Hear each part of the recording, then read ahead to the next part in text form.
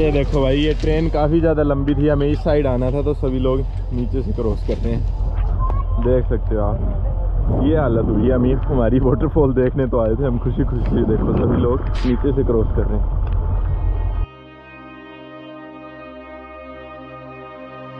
Hello guys welcome to a new video आपको पता है कि पिछले तीन चार दिनों से मैं नॉर्थ गोवा में ही था। आपने वीडियोस देखी, आपको मैंने सब वीडियोस दिखाई। आज दिन आ गया कि साउथ गोल्ड साउथ गोवा को एक्सप्लोर करने का। तो मैंने एक कार रेंट कर ली है, स्विफ्ट कार। मैंने कार इसलिए रेंट करी है क्योंकि यहाँ से जो साउथ गोवा है नॉर्थ गोवा से वो लगभग 50 किलोमीटर के आसपास पड़ जाता है। अगर मैं बस में जाऊँगा तो इतने धक्के खाने पड़ेंगे 300 से 400 रुपए लग जाएँगे। और यहाँ पर एक वाटरफॉल है जिस, जो आपने देखा हुआ चेन्नई एक्सप्रेस मूवी है, उसके अंदर शूट भी हुआ है तो वो वाटरफॉल भी मैं आपको दिखा दूँगा। तो उस वाटरफॉल पे जाने के लिए भी मेरे को, वो वाटरफॉल यहाँ से 80 से 90 किलोमीटर पड़ता है। तो मैंने सोचा कि गाड़ी रेंट कर लेंगे तो अच्छा होगा, आपको बता भी देंगे कि गाड़ी कैसे रेंट करते हैं। तो गाड़ी मैंने रेंट की है, मैंने जिस बंदे से स्कूटर रेंट किया था, आपको दिखाया था मैंने। तो मैं दोनों का नंबर डाल दूँगा जिससे गाड़ी रेंट कर सकते हैं आप और वहीं से स्कूटर रेंट कर सकते हैं। मेरे को ये गाड़ी मिली है हज़ार रुपये में, हज़ार रुपये एक दिन के। तो मैंने दो दिन के लिए गाड़ी रेंट की है। तो हज़ार रुपये इन्होंने सिक्योरिटी ली है और दो हज़ार रुपये मतलब कि तीन हज़ार रुपये में पूरी डील डन हो गई है। तो अभी चलते हैं और बाकी चीज़ें मैं आपको बताऊँगा। और स्कूटर के लिए मेरे से किसी ने कोई सिक्योरिटी नहीं ली थी तो मैं आपको दोनों नंबर डाल दूँगा। बंदा काफ़ी ज़्यादा अच्छा है लॉयल है। आप इन्हीं से रेंट कर लेना। आपको कोई फ्रॉड वगैरह करने का कोई मतलब कि कोई भी बंदा आपके साथ फ्रॉड नहीं करेगा तो इन्हीं से आप गाड़ी रेंट कर लेना और मेरा नाम लोगे तो डिस्काउंट भी मिल जाएगा। ये देख सकते हो, ये कार है मेरी। नंबर देख लो three one three one number मिला है। ठीक है। अच्छी कंडीशन में है पेट्रोल गाड़ी है। नॉर्मल है, अगर आप महँगी लोगे, पंद्रह सौ रुपये में आपको नई गाड़ी मिलेगी, हज़ार में आपको पुराना मॉडल मिलेगा।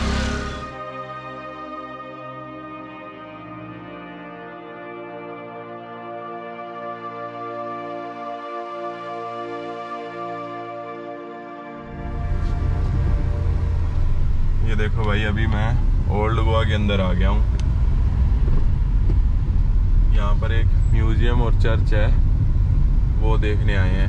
देखने आया हूँ, मैं देखाता हूँ आपको। काफ़ी ज़्यादा बड़ा दूर से दिख रहा था तो मैंने गाड़ी को इस साइड लेफ़्ट में ले लिया ताकि वो भी देख ले। मैं इतनी दूर आए हैं, गाड़ी रेंट की है तो फिर वो भी देख कर ही चलते हैं।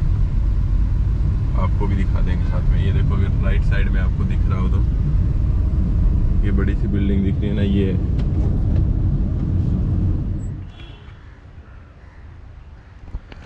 अभी मैं बिल्कुल इस चर्च के अंदर आ गया हूँ, जो चर्च मैं आपको दिखा रहा था। यहाँ पर कुछ रूइंस पड़े हैं, पत्थर वगैरह, काफ़ी सुंदर पत्थर है। इन पे जो बनाई हुई है ना, हाथ से चीज़ें, ये देखो, ये काफ़ी सुंदर है। ये देखो, ये चीज़ें काफ़ी ज़्यादा पत्थर है। लेकिन अभी मैं आपको एक चीज़ दिखाता हूँ, ये देखो। आप देख कर हैरान हो जाएँगे। Milestone of gunpowder factory. ये देखो, ये जो पत्थर, जैसे आपने घर में चक्की वगैरह देखी होगी तो ये दो पत्थर है। दो पत्थरों को ये घुमाते हैं और बीच में इसमें गन पाउडर डालते हैं तो उसको क्रश करते होंगे। ये देखो, ये कितना बड़ा, पता नहीं क्या चीज़ है। देखने में कितना ज़बरदस्त लग रहा है। ऐसे रूइंस होना तभी बंदे को देखने में मज़ा आता है। कई बार क्या होता है कि सिर्फ़ ये देखो, जैसे ये सामने पत्थर पड़े ना, ऐसे पत्थर पड़े होते हैं और कहते हैं कि ये रूइंस है। और वो चर्च देखो कितना ज़बरदस्त लग रहा है। बिल्कुल ओल्ड स्टाइल वाला चर्च। इसको अगर रेनोवेट कर देंगे तो मज़ा आ जाएगा यहाँ पर।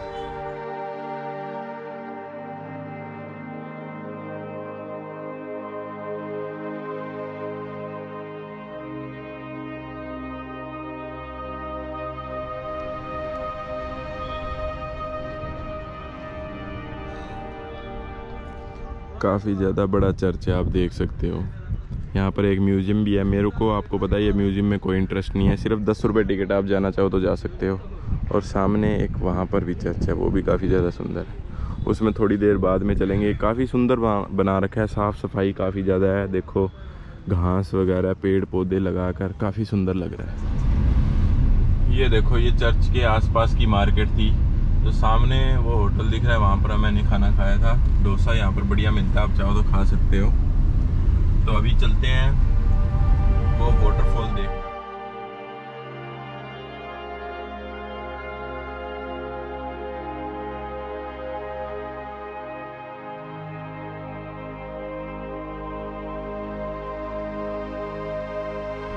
ये देखो अभी मैं वाटरफॉल की तरफ़ जा, जा रहा हूँ लेकिन रास्ता देखो आप बिल्कुल जंगल के बीच में से मज़ा आ रहा है यहाँ पर ड्राइव करने का। बढ़िया गाने चल रहे हैं और साथ में ड्राइव करो।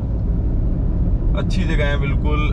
गोवा इतना सिटी इतनी अच्छी नहीं थी, लेकिन यहाँ का जो जंगल वगैरह देखोगे ना तो आपको मज़ा आ जाएगा देखकर। बिल्कुल, इस जो वाटरफॉल है जिसपे अब मैं जा रहा हूँ उस पर ज़रूर जाना। रास्ते में ही आपको मज़ा आ जाएगा, और गाड़ी रेंट कर लेना, या चाहे स्कूटर पर आना। स्कूटर पर थोड़ा मुश्किल हो जाएगा, क्योंकि अस्सी नब्बे किलोमीटर पड़ जाता है ये।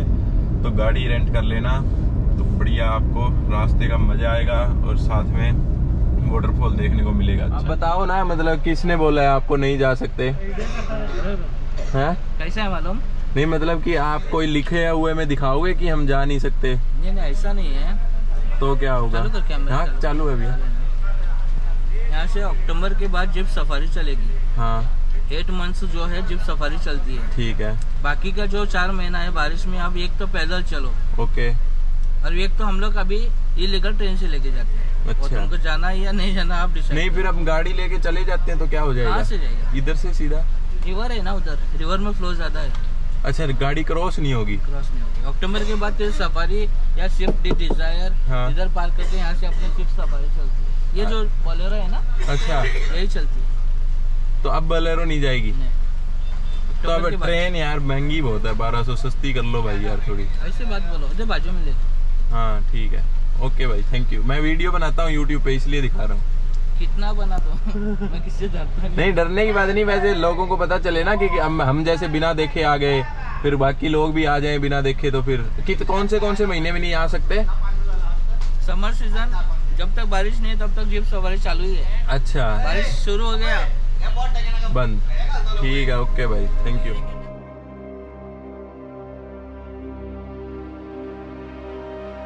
ट्रेन के अंदर चढ़ गया हूँ। यहाँ पर कुलेलम एक कोई स्टेशन है और मैंने बिल कोई टिकट टुकट कुछ भी नहीं लिया है ट्रेन के अंदर। पाने पाने पानी वाला ले लो भैया। उधर मिलेगा नहीं चाहिए कितने का है? बीस का लो। ले लो। उधर नहीं मिलता कुछ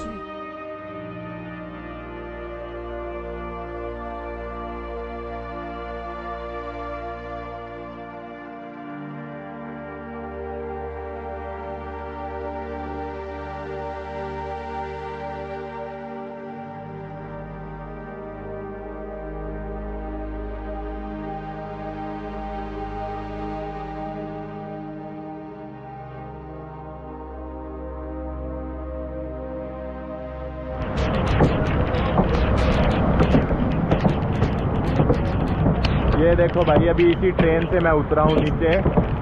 और अभी यहाँ से एक किलोमीटर दूर रह गया वाटरफॉल अभी बारिश में चलकर जाना पड़ेगा। ये ट्रेन क्या है, सच में जन्नत के बीच में से गुजरती है। जो बंदे ने हमसे पैसे लेने थे, मैंने उनको पैसे नहीं दिए। सीधा ही मैं अकेला ट्रेन पे बैठ गया। और रास्ते में टीटी भी आ गया था तो वो कहते, टिकट कहाँ है? मैंने कहा, टिकट तो नहीं है। मैंने कहा कहते कहाँ जाना है? मैंने कहा धुनसागर तो कहते, चलो वैसे तो आपका फ़ाइन बनता है, साढ़े तीन सौ रुपये, चलो मैं आपको छोड़ रहा हूँ।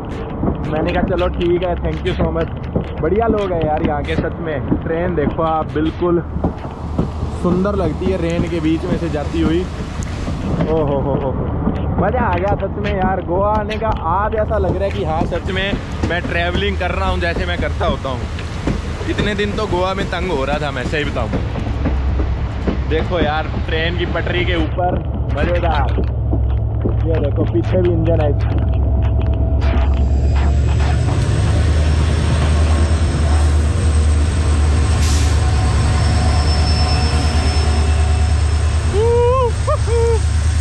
देखो बिल्कुल पहाड़ों के बीच में और पटरी के ऊपर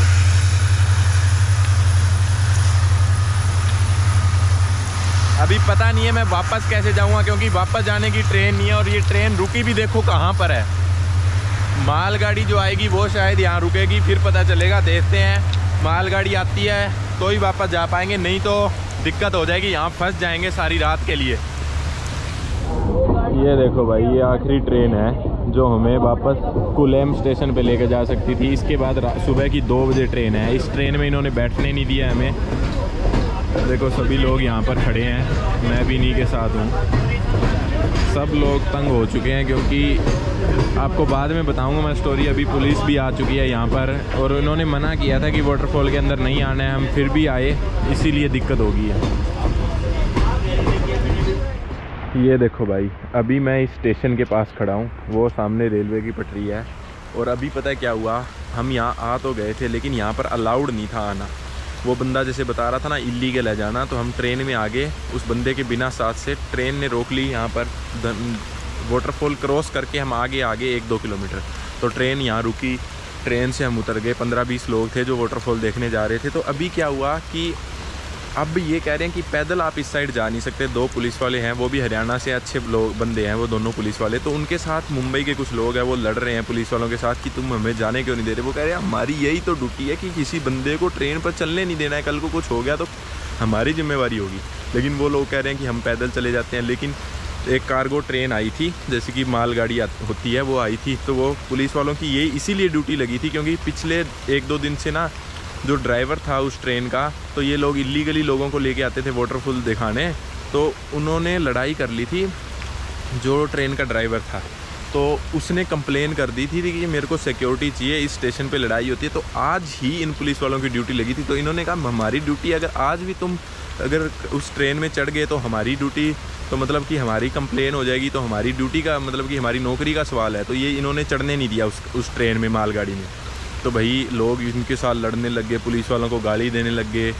तो काफ़ी ज़्यादा बहस हुई। मैं तो साइड में खड़ा रहा मैंने कहा कि कोई फ़ायदा नहीं है बहस करने का। बिल्कुल सच में फंस चुके हैं। अभी शाम के साढ़े छः हुए होंगे छः और सुबह दो बजे सुबह दो बजे ट्रेन जाएगी तो अब देखो क्या कर सकते हैं।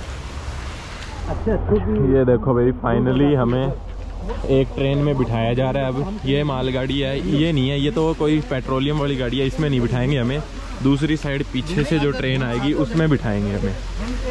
तो देखो सारे लोग, हम कम से कम 20 से 25 लोग होंगे, सभी को कार्गो ट्रेन में बिठा देंगे अभी।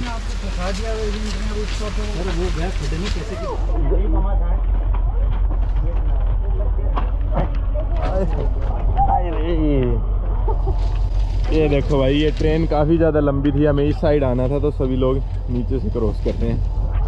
देख सकते हो आप। ये हालत हुई। है अमीर हमारी वाटरफॉल देखने तो आए थे। हम खुशी खुशी देखो सभी लोग नीचे से क्रॉस कर रहे हैं। हाँ, इस ट्रेन के नीचे से क्रॉस करके हम इस साइड आए हैं। इस, इस पटरी पे पीछे से ट्रेन आएगी। उस ट्रेन पे हम जाएँगे।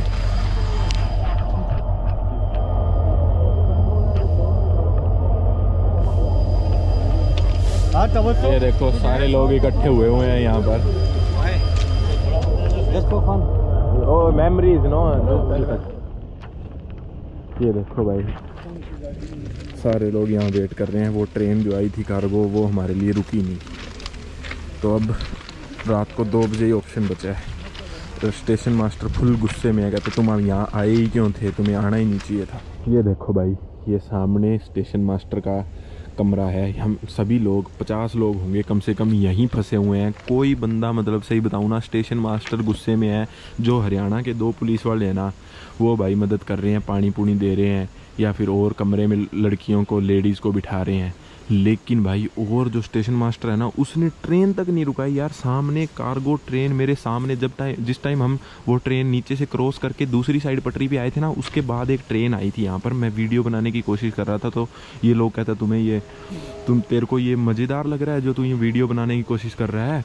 तो मैंने कहा, यार, वीडियो मैं तो वैसी मेमोरी के लिए बना रहा हूँ। तो वो माना नहीं। फिर भाई वो ट्रेन आई तो वो ट्रेन रुकी नहीं। स्टेशन मास्टर ने खुद झंडी दी कि ले जाओ ले जाओ ट्रेन को। ऐसे इंडिया में लोग हैं, हम फंस गए यार यहाँ आकर। तो ऐसा नहीं है कि चल, छोड़ दें हमें। अभी रात के साढ़े सात हुए हैं। सुबह की दो बजे की ट्रेन है। और चार बजे हम यहाँ पर पहुँचे थे, चार बीस पे। देख लो आप। लोगों को बिल्कुल फ़र्क नहीं पड़ता यार, इंडिया में किसी लोगों को लोग यहाँ मर जाए, कट जाए ना तो इनको कोई फ़र्क नहीं पड़ता। ऐसे नहीं कि यार वो कार्गो ट्रेन हमें स्टेशन पे आके छोड़ देगी, बिठा दो हमें, कहते नहीं, हम बिठाएँगे ही नहीं।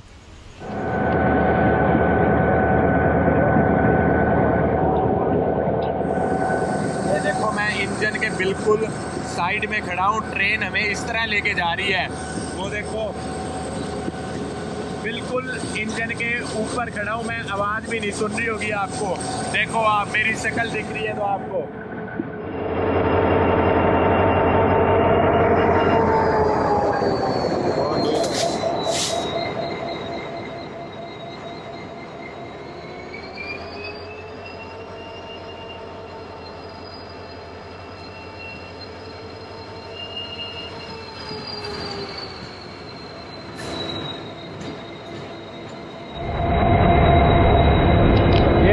आप देख सकते हो, मैं ट्रेन के ऊपर खड़ा हूँ, बिल्कुल इंजन के पास।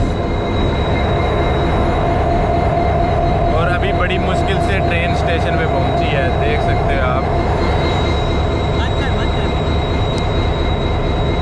ये देखो। जाएगा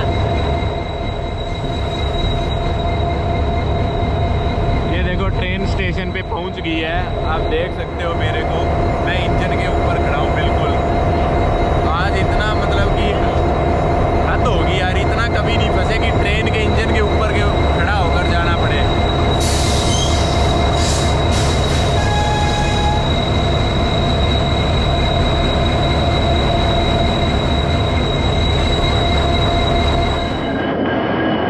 ये देख सकते हो आप कैसे हम ट्रेन से उतर रहे हैं। देख सकते हो आप सामने।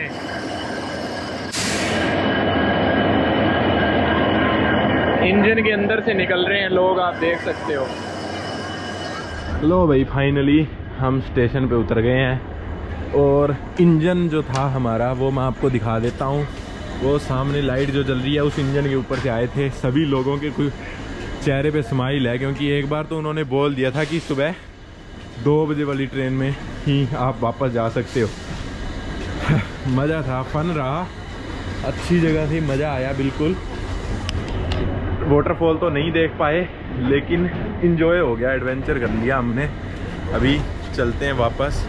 काफ़ी ज़्यादा लेट हो गए हैं तो आज की वीडियो में बस इतना ही। अब मिलते हैं नेक्स्ट वीडियो में, और तब तक के लिए बाय बाय